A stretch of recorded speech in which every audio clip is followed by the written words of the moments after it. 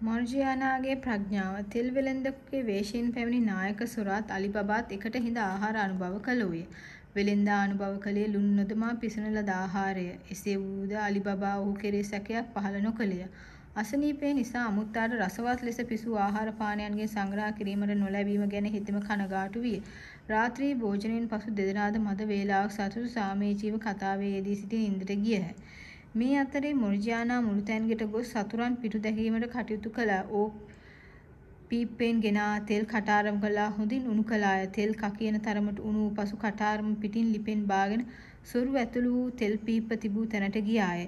එක එක පීප්පය කරා යමින් සැන්දක් පවා කටාරමෙන් උණු තෙල් රැගෙන ඇතුලේ සිටි සොරා මිය යන ලෙස පීප්පයට තෙල් වත් කළාය. සුළු සියලු දෙනා පීප්ප ඇතුලේම මිය ගියහ. පසුදින දහවල් වනතුරු ගවගාලේ තෙල් පීප්ප තිබෙන දුටු අලිබබා තෙල් වෙලෙන්දා නිදා සිටි කාමරයට පරීක්ෂා කළ නමුත් ඔහු එහි සිටියේ නැත. අලිබබා ඒ ගැන මුර්ජියානාගෙන් විමසූ විට ඕතම ඔහු කැඳවාගෙන ගවහලට ගොස් පීප්පවල පියන්පත් ඉවන් කර පෙන්නුවා. උණු තෙල් වලින් දා මිය ගිය මිනිසුන් දැකීමෙන් අලිබබා බීතියටත් හා විස්මයටත් පත්ව එහි තේරුම කුමක්දැයි මුර්ජියානාගෙන් ඇසීය.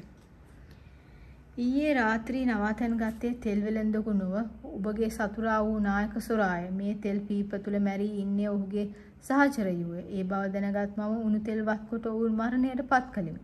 නායක සොරා මරන්නට සොයන විට ඔහු පැන ගොහිල්ලාය.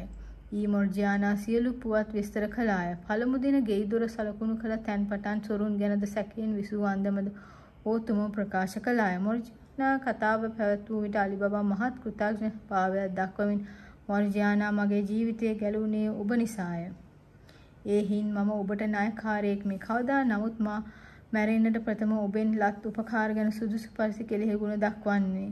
දැනට මගේ සතුරෙහි සලකුණක් වශයෙන් මම ඔබ වහල් භාවයේ නිදහස් කරන්නේ. මින් මතු ඔබ මේ ගෙදර දාසියක් නොවේ. දෙවියන් වහන්සේගේ කරුණාවෙන් ඔබ මැදහත් නොවී නම් හොරු 40 දෙනා විසින් මා ලද උකුලෙහි මා අසුවනු ඒකාන්තයෙන් පැවසුවේය.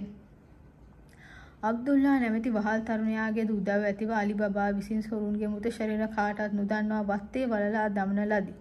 තෙල් පීපද පරිශ්‍රමයේ සංගවා තබා බූරුව වරින් වර විලඳාම් වලට යා විකුණා දමනු ලැබූහ. ඒ හේයින් හොරු 40 දෙනා ගැන හෝ අලි බබාගේ ගෙදර වූ සිදු වූ කලබල ගැන හෝ අසල්වැසි කිසිවකුට දැනගන්නට පුළුවන් විය. නුපුළුවන් විය.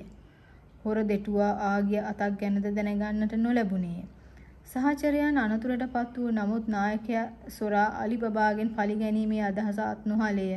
පරම්පරා ගණනක සිට ආරක්ෂා කරගෙන ගල් ගුහාවේ රහස දැන ගැනීම ගැනද තමාගේ සහචර හොරු 40 දෙනා භයානක මරණයට පත් කිරීම ගැනද තනියම නමුත් අලි බබාගෙන් පරිගැනීමට අදිෂ්ඨාන කරගත් හිතෙම ඒ සඳහා උපාය යෙදුවේය. අලි බබාගේ පුතා කාසිම්ගේ වෙළඳ ශාලාව බාරගෙන වෙළඳාමේ යෙදී සිටින බව මීට ඉහතින් සඳහන් කරන ලදී. ඔහු හා මිත්‍ර වීමෙන් අලිබබාට අනතුරු කරන්නට ලැබේ යයි නායක සොරා කල්පනා කළේ. එසේ කල්පනා කොට හෙතෙම අලිබබාගේ වෙළඳ ශාලාව කරා ගියේය. අලිබබාගේ පුත්‍රයා ඔහුගේ කපටිකම් වලට රැවටි ඔහු සමග මිත්‍ර වූවාය. සොරා විසින් අලිබබාගේ පුත්‍රයාට නොඑක් තෑගි භෝග එවන ලද්දේ අලිබබාගේ පුත්‍රයාද ඒ ගැන සැලකිලිමත් කිරීමට කල්පනා කොට දිනක් ඔහුට රාත්‍රී භෝජන සංග්‍රහයකට ස්වපියාගේ නිවසට පැමිණෙන ලෙස ආරාධනා කළේ. සොරා බලාපොරොත්තුෙන් සිටියෙත් මෙවැනි කැඳවීමකි.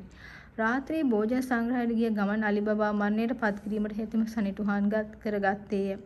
සුරා අලිබබාගේ පුත්‍රයාගේ ආරාධනය ඉවසා ඔහුගේ නිවසට ගිය නමුත් ආහාර ගැනීම ප්‍රතික්ෂේප කළේ හේතුව විමසන ලදී ලුණු දමා පිසින කිසිම ආහාරයක් තම අනුභව නොකරන බව ප්‍රකාශ කළේ. ඒ බව ඇසූ අලිබබා මුළු තැන්කට ගොස් අමුත්තෙකු උදෙසා ලුණු නැතිව ආහාර පිසින ලෙස මොරිජියානාට නියම කළේය. මීට ඉහත ලුණු නැතිව ආහාර පිළියෙල කර අමුත්තෙකුගෙන් සිදුවන්නට ගිය විපත ගැන මතක තිබූ මොර්ජියානා මේ අමුත්තා ගැනද සැක කළේ. මොර්ජියානා කෙතරම් කීකරු ස්ත්‍රියක් වුවත් මෙහිදී ඇයගේ අසතුට ප්‍රකාශ නොකර සිටිනු නොහැකි විය.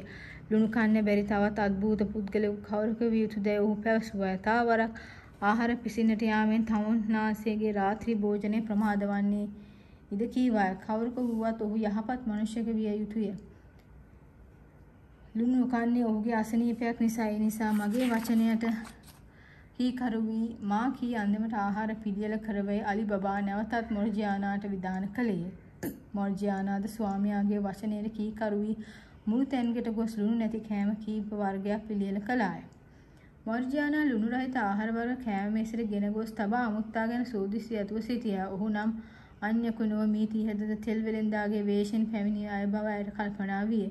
ආහාර ගැනීමෙන් පසු නින්දට ගිය විට තමාගේ ඉනියේ සඟවා තිබූ කිනිස්සෙන් ඇන අලිබබා ජීවිතක්ෂයට පමුණුවන අන්දම ගැන කල්පනා කරමින් සොරා ලුණු නැති ආහාර අනුභව කළේය.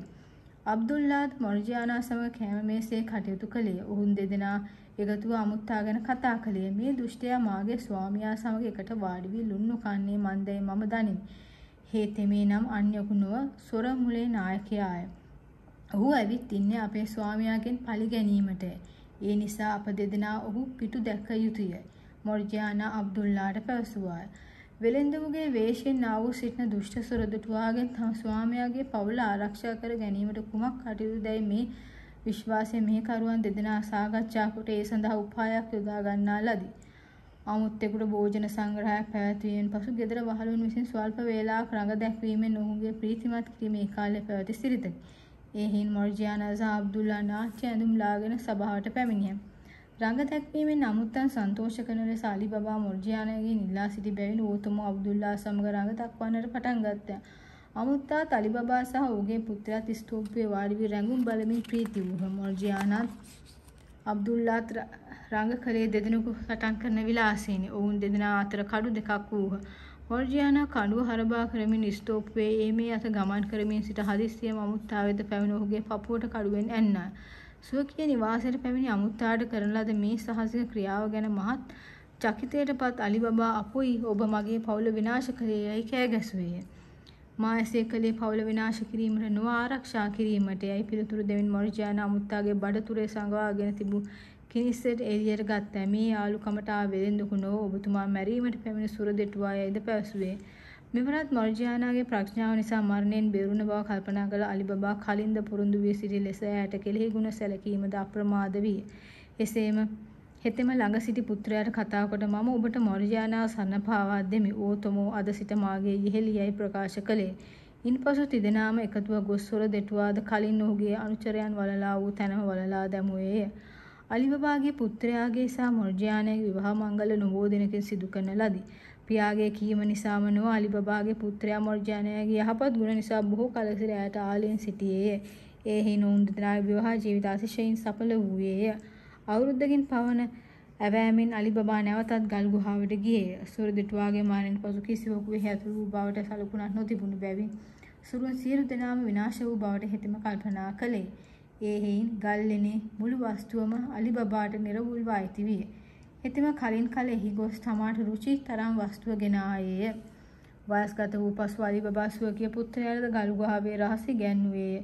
එහින් අලිබබාගේ ඇවෑමෙන් ඔහුගේ පුත්‍රයාද ඉන්පසු ඔහුගේ පරම්පරාවද ගල්ගුහාවේ නිදානෙන් ප්‍රයෝජන ගත්ත. එකවරකට තමන්ට වමනා වන තරම් පමණක් වස්තුව ගෙන ආ බැවින් අලිබබාගේ පරම්පරා ගණනාවකටම යශීශ්වරයෙන් විසීමට ගල්ගුහාවේ දානය ප්‍රමාණවත්